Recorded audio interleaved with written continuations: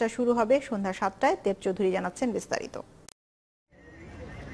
T twenty বলে কথা। নেটে বিশ ওভারের ব্যাটিংটাই প্র্যাকটিস করছিলেন মুশফিক।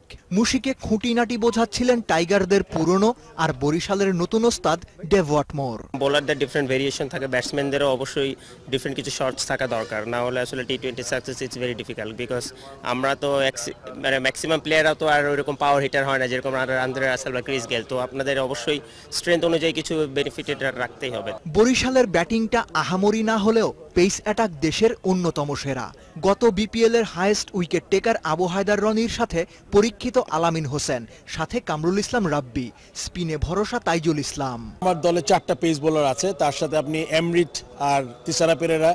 এক্সট্রা দুইটা ডিমেনশন দিবে অলরাউন্ডের ফর্মে আছে। আমার এই পেস বোলিং অ্যাটাকটা কিন্তু তো চমৎকার।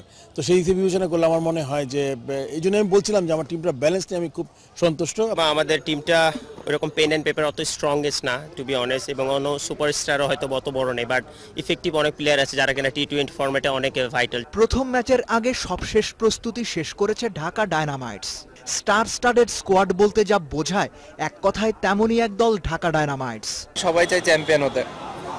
বাট ডে বাই ডে যেন আমরা ইমপ্রুভ করতে পারি একটা টিম হিসাবে আর ভালো পারফর্ম করতে পারি এবং দর্শকরা যেন আমাদের খেলা, আমাদের যে ব্র্যান্ড অফ ক্রিকেট হবে ওটা দেখে মজা পায়। গত আসরে ঢাকা কুমিল্লার প্রথম ম্যাচ জিতেছিল ঢাকা।